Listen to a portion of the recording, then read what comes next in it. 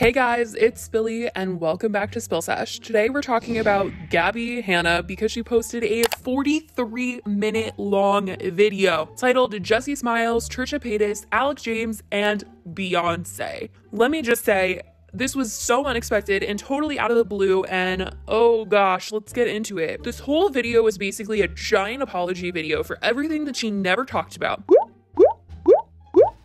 And when I tell you the timing was great, the timing was great because her EP dropped just a few hours later. So a bunch of people were trying to say that the timing was really suspicious and that she really wanted her name to trend so that her EP could trend and yada yada yada. I'm not sure if that was her intentions. She did address it at the end that she thought that people would think that she was just doing this for her EP and I was like, oh, way to remind us that it's coming out in a few hours. But she said that she never would have brought this up if it wasn't for Jessi Smiles making a video. It was literally a Q&A and she said that she used her name, put her in the thumbnail. One of the questions that she put in the thumbnail was honestly something I could barely see on mobile. Literally, you have to zoom in to see Gabbie Hanna's name. But she was asked if Gabbie ever apologized to her since she made her video back in November. And here's the apology, I guess. Jessi's video was posted four days ago, so I mean, if Gabbie was really as upset as she said she was, she would have posted it the day after Jessi made her video, but she obviously chose to do it on the day her EP dropped. But anyways, anyways, anyways. All in all, I want to say she did a thorough and good job talking about everything and addressing the little nooks and crannies that people would have questions about. And I did appreciate her coming out with this apology. It was a little weird because she said she would rather handle things privately, but here this is. I mean, she's pretty much blocked from a lot of people that she talks about here, so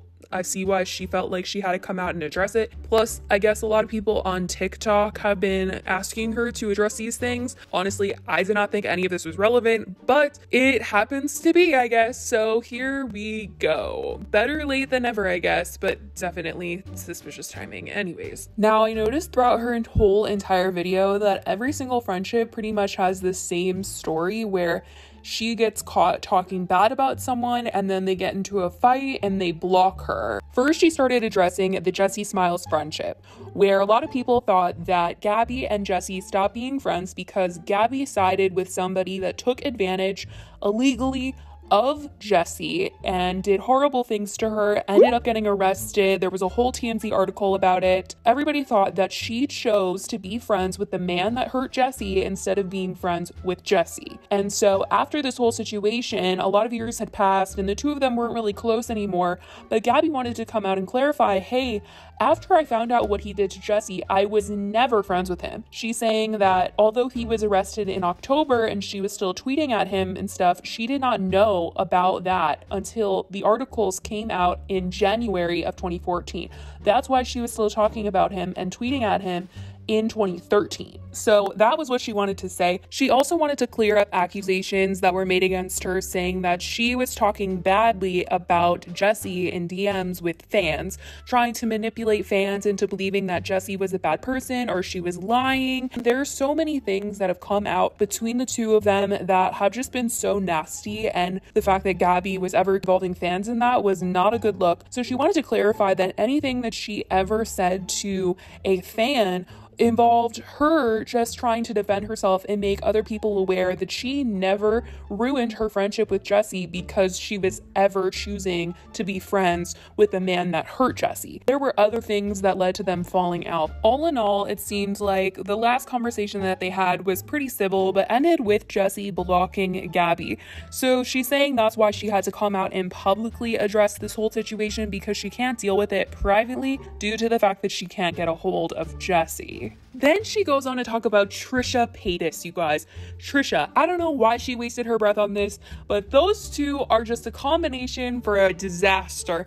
Oh my gosh, anytime you involve Trisha in drama and now you want to talk about it, I just think that's a whole mess because Trisha is unpredictable. She could hate you for no reason, and honestly, it kind of seems like Trisha had a little bit of a valid reason here, but just chose to stay hating Gabbie and not forgive her, which seems like a very Trisha y thing to do to just be like, I hate you forever.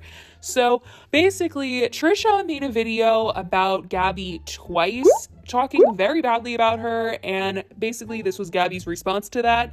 One of the biggest issues that Trisha had with Gabbie was that Gabbie went to Trisha's ex boyfriend, Jason Nash, while they were dating and told him that she had herpes. Now, Gabbie wanted to clarify that she heard from one of Trisha's very close friends that Trisha had herpes, and as a friend of Jason Nash's, she felt obligated to tell him that he needed to have a conversation with Trisha and ask her if she had herpes. Well, all in all, Trisha does not have herpes. Allegedly, that's what she's saying. She doesn't have herpes, but she was super upset that Gabbie would be talking about her like that, spreading these rumors and lies about her. Obviously, Trisha got very, very, very heated about this and said that she literally did not like Gabbie and hated her. And I guess Gabbie got word that Trisha started to talk badly about her anytime she got the opportunity to do it.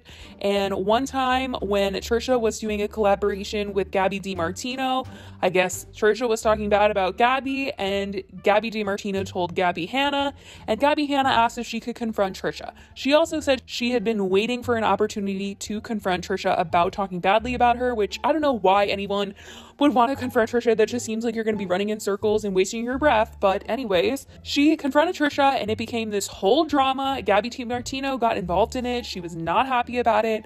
And obviously, it didn't end very well for any of them. It was just one big drama filled mess. Now, when this whole herpes situation was happening and Gabbie found out that Trisha was talking bad about her, she was very public about defending herself on Instagram stories. So I felt that it was super weird that she had to bring this all back up again because I thought she had made her statement, but I guess not. She wanted to clarify that she never meant any harm, that anytime Trisha needed her, she always tried to tell her that she was there for her, she had a place to stay, she had a friend, because Trisha's always posting about how she's depressed and sad and lonely and doesn't have any friends. And Gabbie said she was nothing but nice to her. So, anyways, seems like a big yikes to me, and I just think that she has to let this one go. I don't think Trisha's ever gonna forgive her for telling Jason Nash that she had herpes because that's Jason Nash is just a sensitive topic for Trisha. So Gabbie wanted to say that there was never legal action taken in this drama. She said that she lost her cool and she chose to stop responding to the situation. With Alx James, he came out with a video around the same time as all this drama titled Gabbie Hanna Girl Bye, where he said that there was a reason why she was blocked it was because she had talked bad about him on a podcast, saying that he was a very bad person. And when describing him, she didn't name him, but she didn't realize that she had a whole storytime video with him, basically discussing everything she talked about on the podcast. So it was very easy to find who he was and who she was talking about was a bad person. So she wanted to clarify why he was a bad person, and it was because they went on a trip to Miami and it, they went to a haunted hotel.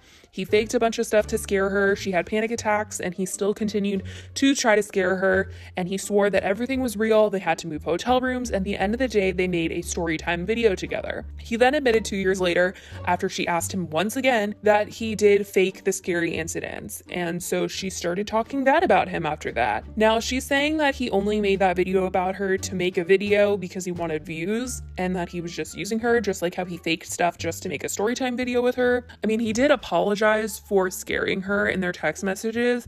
And yes, it was really bad of him to scare her and continue to do it while she was having panic attacks. But this is really crazy. Like, there's so many people that have similar stories with Gabbie Hanna about how she's gone around and talked bad about them, incidences of people blocking her. And that's, it seems like a pattern. I don't know why. It's weird. I mean, I think she did a good job by addressing everything thoroughly and calmly. I just have weird feelings. Like, is this genuine? I don't know if this is for the EP drop? Is this to trend? I don't know. Then she begins to dissect the whole Beyonce segment of the video, and this is some drama I just, I, yikes. So back in 2014, she tweeted out saying, If I could be any animal, I'd be a Beyonce.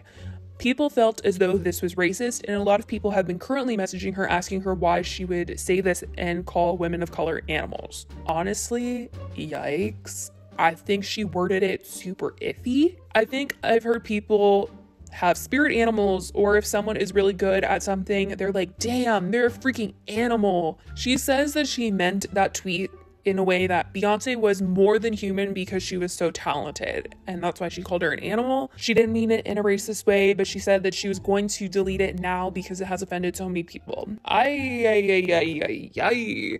This video was super unexpected. I didn't expect to see Gabbie Hanna talking about any drama because she really wasn't in any drama in my eyes. Like on Twitter is really where I see a lot of people getting canceled and she hasn't been getting talked about for any negative reason as of recent, but if people are saying that they've been attacking her on TikTok, then I guess this video is warranted. I just felt as though it was super random and I had to like go back and research what each video she was referencing and each drama with each person was referencing and well here we are guys so let me know what you guys thought about her video and if you accept her apology if you think the timing was a little weird I'm very curious to hear what you guys have to say. Anyways, I love you guys so much. I will talk to you in the next video. Bye, guys.